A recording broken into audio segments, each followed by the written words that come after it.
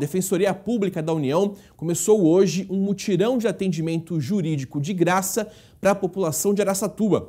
Rodolfo Pardini, ao vivo, tem as informações para a gente. Bom dia, Pardini. Fala casa, bom dia para você e a todos. É uma oportunidade bacana para as pessoas que têm alguma pendência com o INSS de tentar resolver receber essa orientação. Mas para participar é preciso fazer o agendamento por telefone.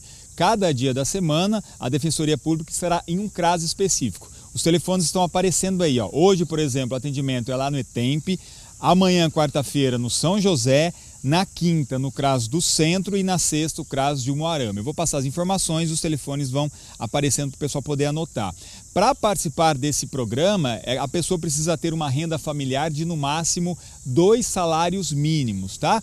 E lá ela vai receber orientações, por exemplo, sobre o Auxílio Brasil, dar entrada no seguro-desemprego, aposentadoria, pensão por morte, auxílio doença, auxílio reclusão e também o salário maternidade. Para participar é preciso levar os documentos pessoais, como RG, CPF, comprovante de residência e também uma cartinha do INSS de que a pessoa teve esse auxílio negado. Então ela terá a oportunidade de receber a orientação desses defensores públicos para saber como ela deve proceder para tentar entrar novamente e ter sucesso nessa causa. Então, reforçando hoje, atendimento da Defensoria Pública lá no CRAS do ETEMP, mas para participar antes é preciso fazer o agendamento por telefone.